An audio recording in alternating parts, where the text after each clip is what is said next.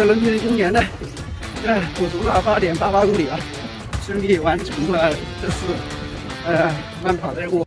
这次虎跑曼谷福耀泰华的活动分为全程组和半程组，我只是参加了其中的半程组，目标只设了八点八公里，行程比较宽松，而全程组有二十点二二公里。好了，现在在伦比尼公园呢，要和全程组的大部队集合，我们的。集合地点就是在拉玛五世的雕像下面。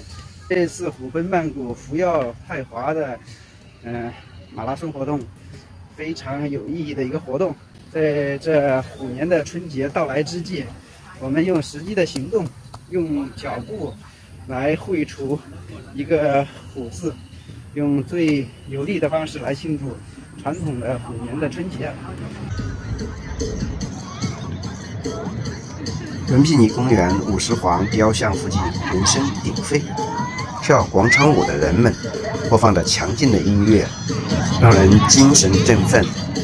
在正式集合之前呢，是一段自由时间，那么有的跑友去拉伸，做一下放松。一部分人已经在这里等着集合了，同时我们有志愿采访记者进行一些简单的采访活动。过节有什么感想？有什么感受？在海外呢，也有海外的春节的特点。你像泰国这边呢，春节的气氛虽然没有国内这么浓，但是呢，现在这些年，呃，春节的氛围也是越来越的这个浓重了。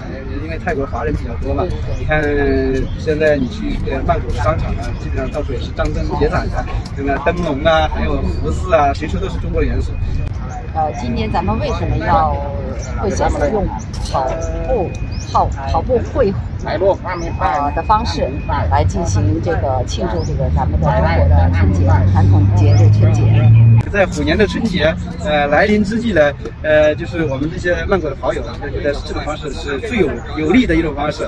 那么大家一起呃用脚掌呢绘出一个虎字，这是迎接虎年春节的一种最有意义的一种方式。嗯，所以说非常骄傲。在这个虎年春节，您想对中泰朋友说些什么？或者还有泰国有些什么想说的？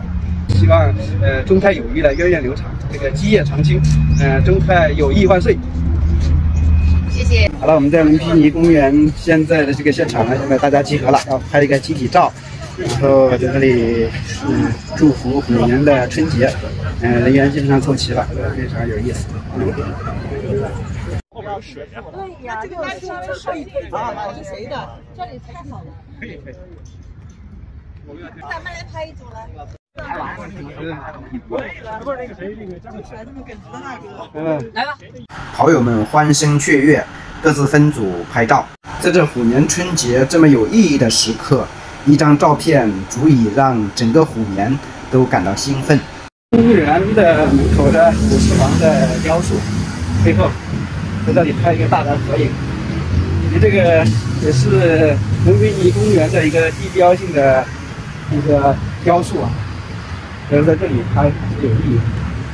当虎跑曼谷福耀泰华的横幅拉开的时候，就意味着我们这次活动接近了尾声。在泰青年跑虎字贺新春，央视新闻客户端在除夕之夜特别报道了这条新闻，这也为我们曼谷跑友自发组织的这项活动增加了特别的含义。这段视频的最后，给大家献上曼谷跑虎团最美好的祝愿：祝祖国繁荣昌盛，祝人民幸福安康，祝中泰友谊基业长青，祝北京冬奥会圆满成功，虎年大吉，虎虎生威，耶！